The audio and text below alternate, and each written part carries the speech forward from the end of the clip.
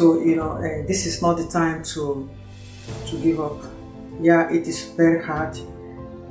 It is very very hard for you know. I know how difficult uh, it can be for so many people out there.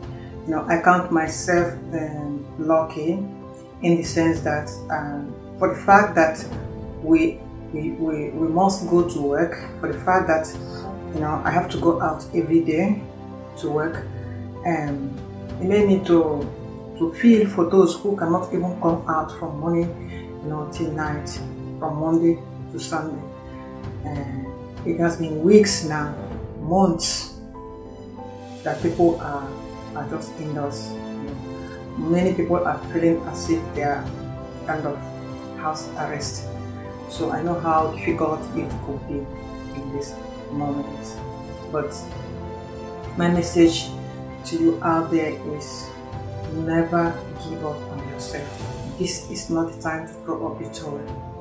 This is not the time to start, you know, asking unnecessary questions, questions that maybe no one out there can really give you the, the answer. You know, this is not the time to start doubting yourself or to start feeling down, you know.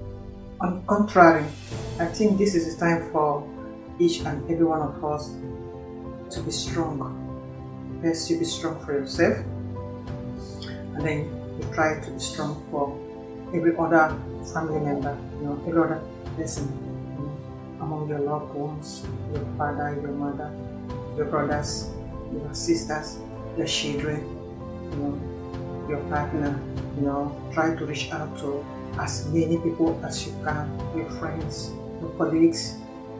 It's true that we cannot, you know, connect with each other as we used to, like visit them physically, but at least thank God for the internet.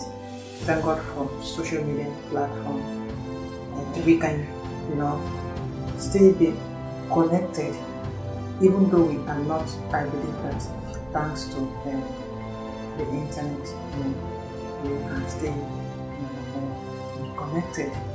I think one positive thing that we should learn from what is happening in this uh, in this particular moment is the opportunity for, for people to be really connected. There's no any excuse to make now for not you know, reaching out to your loved ones, not reaching out for people that know matters. It is time for you. You have every time you need in the whole world now. Let's count this as you know uh, opportunity. Let's see it as opportunity. Okay. Let's count it as blessing because I know how hard it used to be uh, in our today's society. You know, the rate of the you know the the, the rat race lifestyle that we lead. It does not permit us to reach out to the people that really matters in our life. Don't have time for for, for ourselves to go some other people. In the morning you wake up, before you know it, you're up to you school rounds, those that have children, those that have families, from school rounds to, to go to your you know, various uh, activities. Some go to their work, some go to you know, do one thing or the other. And before you know it, the day is fast, you know, we're gone. And you don't have time to shake on any other person, to shake on people that, uh, that, that really matters, to shake on your friends, to shake on your, on your parents, you know, that are not uh, living with you in the same house.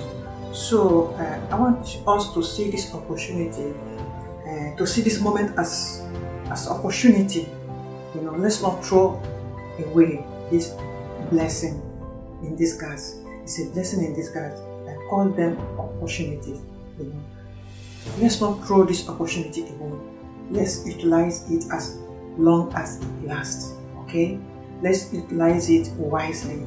Let's be strong do everything you can do to stay grounded. Watch your mental health. Take care of yourself. Drink water. Eat vegetables. Eat fruits.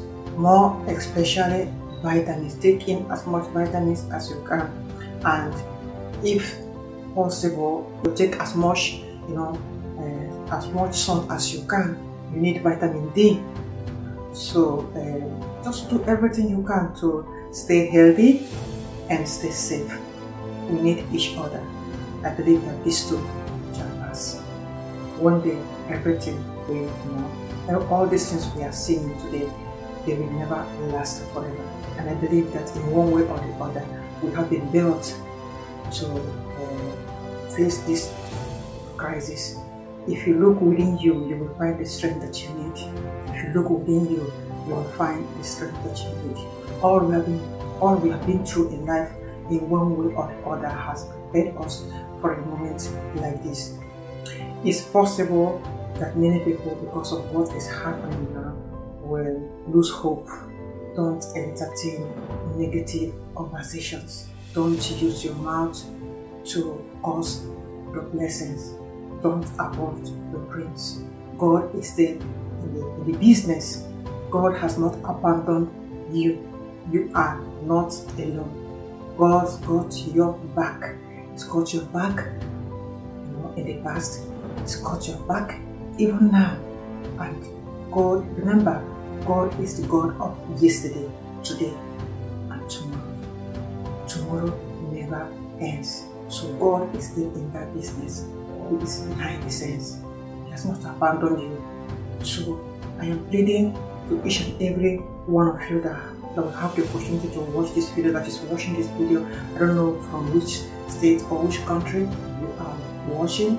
And probably in your own country, there is lockdown going on right now. There are restrictions here and there. Please let's reach out to as many people as we can. Let's stay connected.